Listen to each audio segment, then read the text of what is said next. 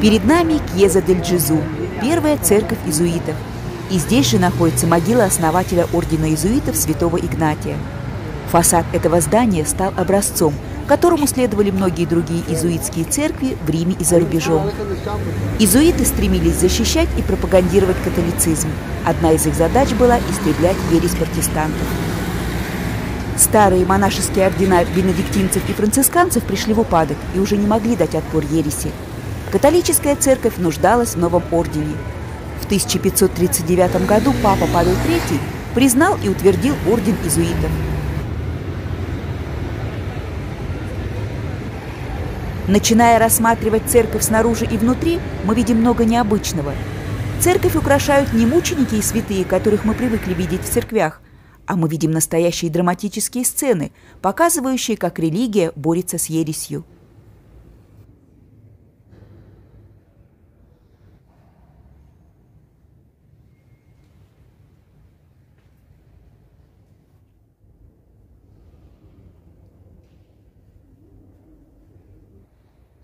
Великолепное убранство церкви ослепляет и поражает своей красотой, как с точки зрения материалов, которые были использованы здесь, так и с точки зрения мастерства скульпторов и художников.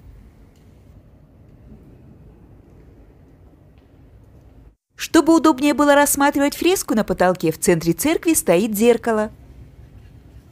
Переходы от скульптуры к живописи – это были новые идеи Гаули, 22-летнего художника по прозвищу Бачиччо – он приехал в Рим из Генуи примерно в 1660 году. Его заметил торговец картинами, который познакомил его с Бернини. Так он попал в мастерскую Бернини. Это очень сильно повлияло на его творческие идеи. По проекту Андреа Поццо Гаули воплотил свои идеи. Он соединил фреску и лепнину. Этот прием придал своду вычурную и монументальную форму. Получился переход от барокко почти в рококо. Так как Гаули был вдохновлен Бернини, критики стали называть его «Бернини в красках». Плафон обрамлен множеством фигур. С облаков спускаются прямо в центральный неф церкви праведники и грешники. Художник сумел создать впечатление, что грань между реальным и нереальным пространством исчезла. Это и вызывает эмоции, которые потрясают зрителей.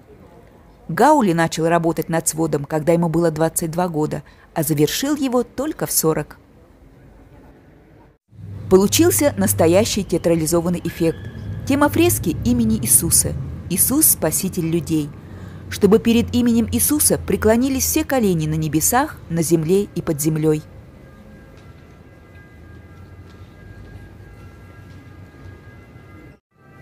Монограмма написана сияющими буквами в центре плафона. Это первые три греческие буквы имени Иисуса. Встав под монограмму, иллюзия перспективы становится оптической – Именно под ней, под монограммой, лучше всего рассматривать фреску. Алтарь святого Игнатия находится с левой стороны от главного алтаря. Он поражает обилием золота, лазурита, мрамора, оникса, хрусталя. Останки святого Игнатия находятся в позолоченной бронзовой урне. Над проектом алтаря работал Андреа Поццо. Он же спроектировал и бронзовые перила, окружающие алтарь святого Игнатия. Десять скульпторов участвовали в изготовлении скульптур и многочисленных деталей, а процессом плавки руководил Карло Спанья, известный в то время ювелир.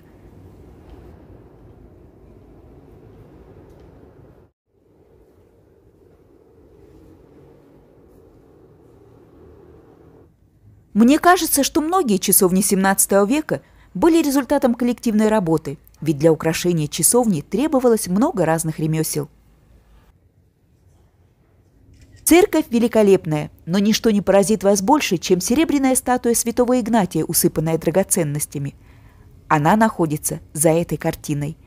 Каждый день в 17.30 картина опускается, и появляется великолепная статуя основателя церкви.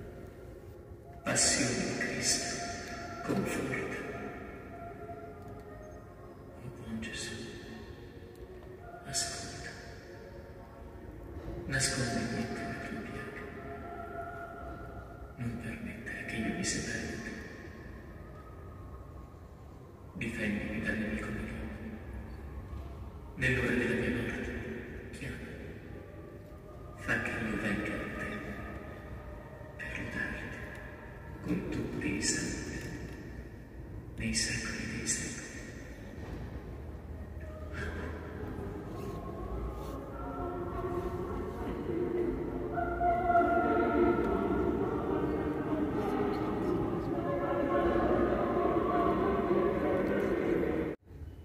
Большое полотно приписывается Андреа Поццо. Оно закрывает нишу со статуей святого Игнатия.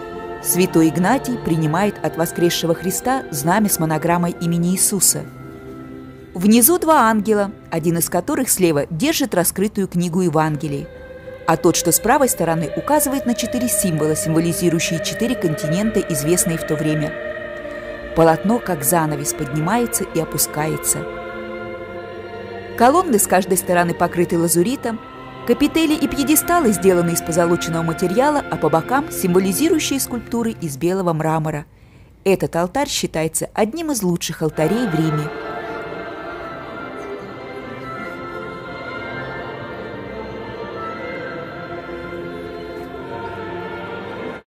Я всем, кто бывает у меня на экскурсиях, советую сходить в эту церковь самостоятельно. Церковь поражает своей красотой. Хочется все рассматривать в деталях. Купол был сделан по проекту Джакомо де Лапорта и украшен фресками Гаули, известного как Бачиччо.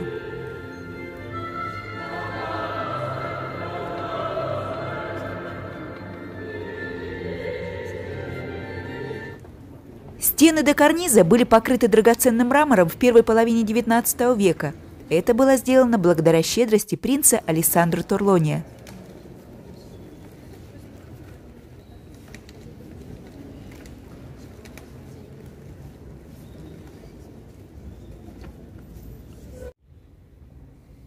Сегодня в церкви был паломник, который, видимо, проделал длинный путь, прежде чем пришел в Рим. Я его встретила сегодня в нескольких церквях.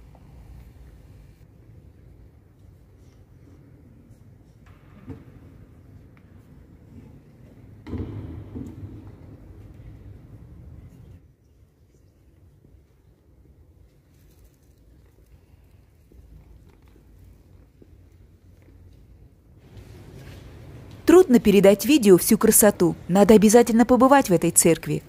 Слово Божье есть свет.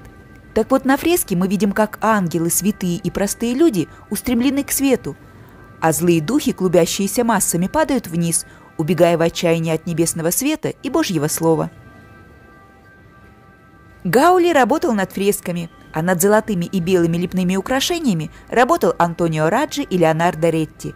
Все трое до этого работали с Бернини – Ой, как чувствуется влияние мастера.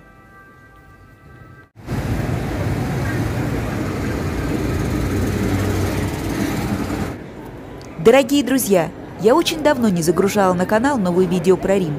Сначала был отпуск, потом практически без выходных работала. Мои видео на канале побудили многих из вас, моих зрителей, приехать в Рим.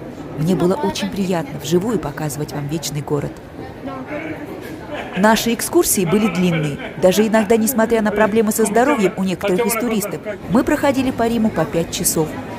За это время я успевала показать очень много.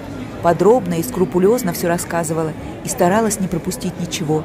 Я показывала не только главные достопримечательности, но и обращала внимание на незаметные, но важные детали, которые самостоятельный турист обычно не замечает. Сначала я дала себе слово, что после экскурсии я буду останавливаться и снимать небольшие видео для тех, кто не может сейчас путешествовать, для вас, мои любимые зрители. Но потом меня стали покидать силы, и после экскурсии я уже бежала домой. Поэтому у меня и получился такой длинный перерыв на канале. Отснятого материала очень много.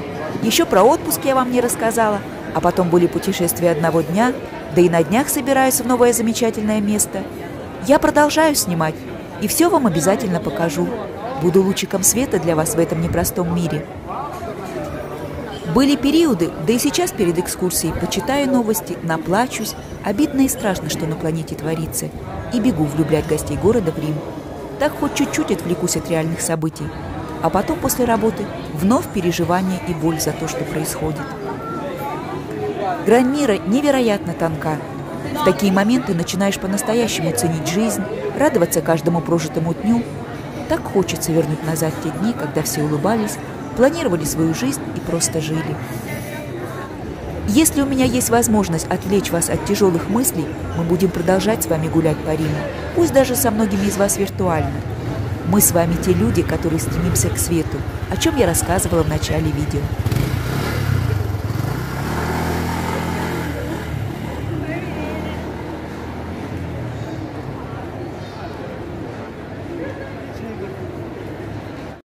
Досмотрите видео до конца, у вас есть возможность окунуться в атмосферу вечного города. Ну а я сейчас буду прощаться с вами. И до новых видео, друзья. Пишите комментарии, я их все читаю. Делитесь видео с друзьями. У кого есть возможность, приезжайте в Рим. Желаю вам мира и добра.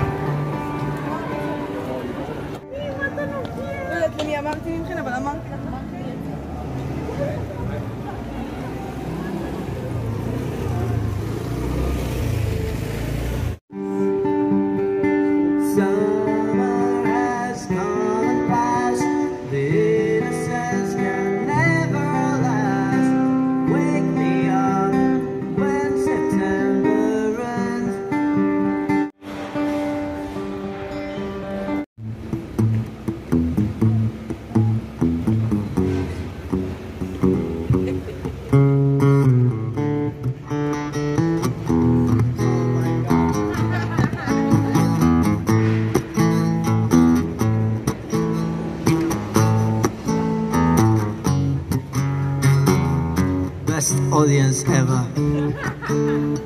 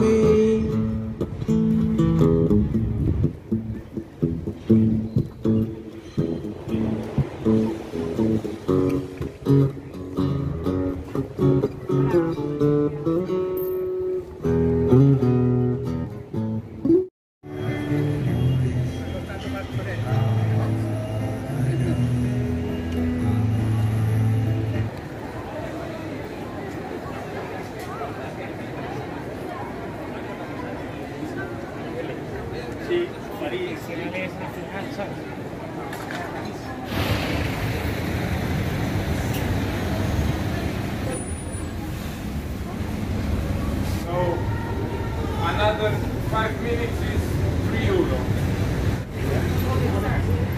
you want a cone? Yeah, can I get a light up? Alright.